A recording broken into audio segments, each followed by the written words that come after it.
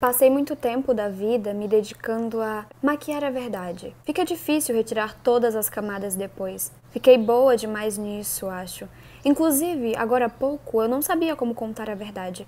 Não tenho muita prática nisso. Me parece uma coisa contrária à minha própria sobrevivência. Olá, amigos, sejam todos bem-vindos. Eu sou a Maria Eduarda e este é o canal Ler para Conhecer.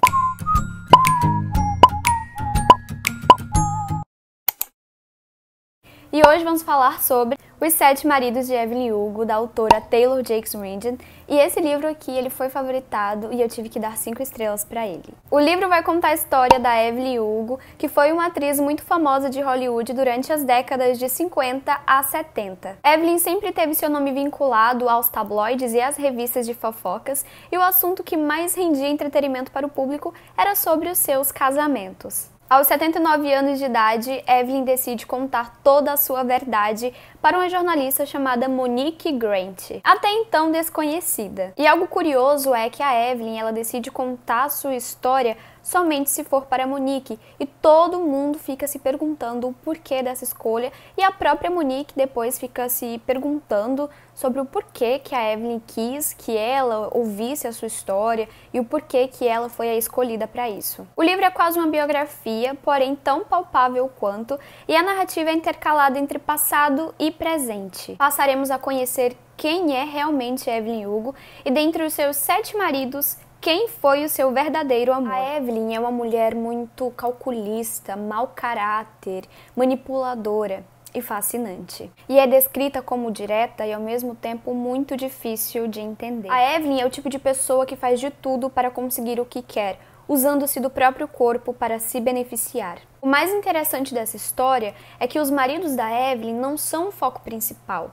É sobre ela, sobre a Evelyn Hugo, sua vida e a sua verdade. Durante a leitura, a sensação que eu tive foi de que essa mulher existe. Mas aí você termina de ler e pensa, como assim essa mulher não existiu? Falando um pouco sobre a Monique, ela perdeu o pai quando era ainda muito criança, o que foi motivo de tristeza e também de muita revolta devido às circunstâncias que ele morreu. E agora a vida da Monique está muito tensa, muito conturbada, porque ela está passando por um processo de divórcio, de separação. E assim, a Monique ela acredita fielmente que ela vai aprender muitas coisas com a Evelyn em relação a divórcio e separação. Haja vista, a Evelyn Hugo teve sete maridos. Ali para o final do livro, iremos descobrir qual é a conexão entre Evelyn Hugo e Monique Grant. Em suma, é um livro espetacular, leitura fluida, rápida, instigante que te prende do início ao fim. Cada instante, o seu desejo é de conhecer muito mais sobre a Evelyn Hugo.